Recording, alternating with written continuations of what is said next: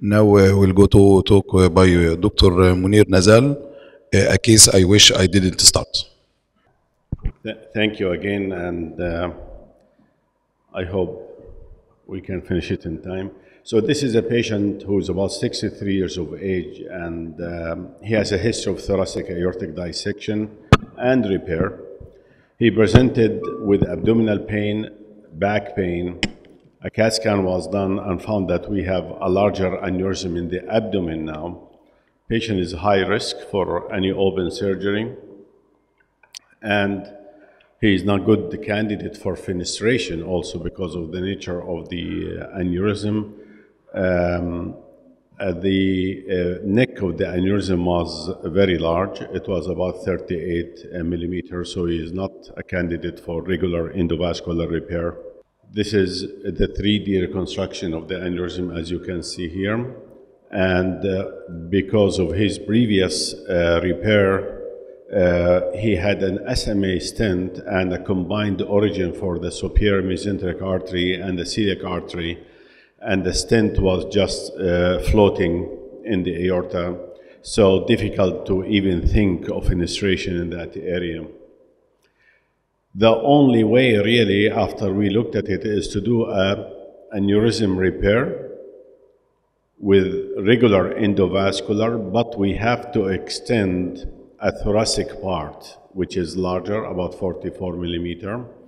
The only problem that it is 10 centimeter long, so it cannot fit within the bifurcated graft without covering the renal artery, which we were not planning to.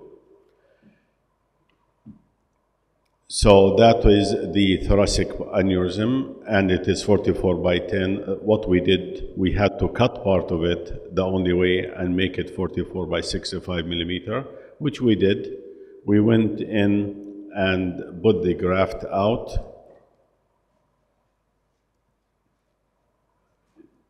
And no need to go through the film, and managed to cut 6.5 millimeter, the usually of cutting those grafts then finalize the end of it.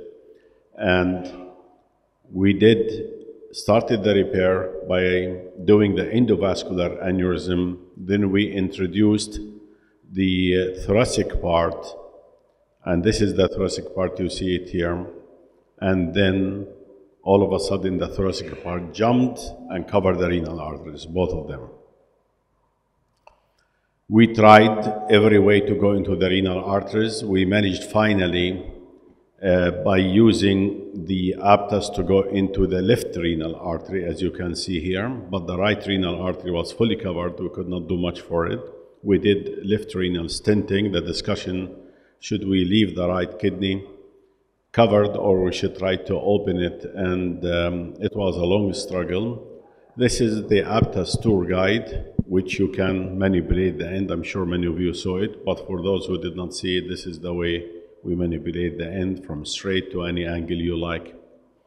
We try to pull the graft down, but it is a straight graft. You cannot use the wire from both ends because the thoracic part is not bifurcated, it's a straight. And this is what we did at the end. We used the Aptus to go around the metal part, as you can see it. We pulled it down, we snared the wire, as you can see here, and we pulled the stent down on that side. Then, after that, we went to the, um, from the arm and managed to get into the right renal and finalize the procedure. The patient was discharged home. He had no creatinine change and he was followed in the office. Um, this is a case that really, uh, sometimes when you are overconfident, you are bit in the head and knowing no, you are not that confident. You should not be that confident. Thank you very much.